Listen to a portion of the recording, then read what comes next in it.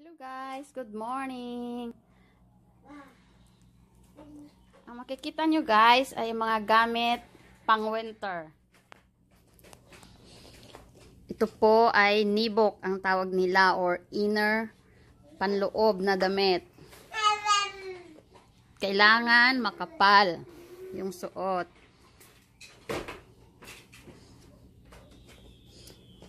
Ito naman para sa lieg.